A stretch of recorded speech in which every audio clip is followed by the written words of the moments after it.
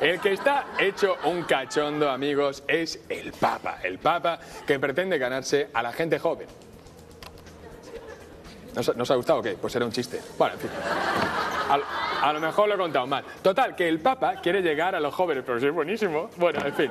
El Papa quiere llegar a los jóvenes y ha pensado que la mejor manera es, fijaos, apuntándose a la moda de los SMS. ¿eh? Ya veo los anuncios ahí. ¿Quieres que el Papa te envíe el Urbi et Orbi a tu móvil? Envía Ratzinger es un cachondo al 5557. Ya era hora de que diera algún uso al papamóvil, ¿eh?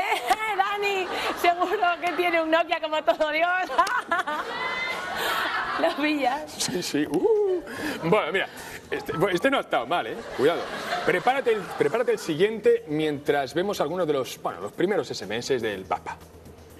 El Vaticano se actualiza y con el fin de acercarse a los jóvenes, el Papa ha decidido mandarles mensajes de texto.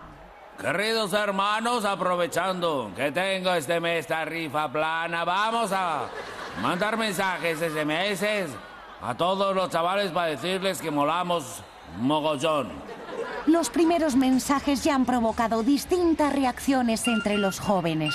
Un mensaje. Coño, del Papa. Colegis míos, mañana super Eucaristía en Miquel y yo pongo el vino, pásalo. escrito el Papa para la fiesta? Está así. Vino. claro, eres un pringao como eres Daiktel. Va a cantar Bisbal, el Ave María.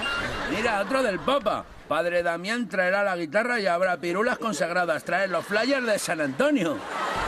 Pues yo voy a cantar unas almas que lo vas a flipar, ya verás. Qué guay.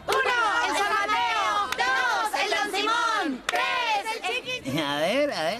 Mira otro. Además, la Sorry del Rocco nos enseñará sus virtudes. Vendrá todo Dios. Beni 16.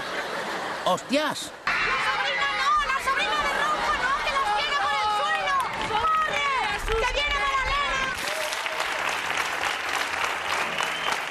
Qué cachondo, Ratzinger. Aunque teniendo en cuenta los millones de cristianos que hay en el mundo, eh, me juego lo que quieras a que cuando le llegue la factura, ahí al Papa sí le van a entrar ganas de repartir hostias, pero de verdad. El Papa tiene móvil. Pues con la de veces que habla con Dios se gastará una pasta en conferencias. Porque, ¿ese cómo va? ¿El Papa paga hasta las 9 y ahí en adelante paga Dios o cómo? Creo que sí, creo que el Papa paga hasta las nubes y luego lo que queda Dios, o al revés.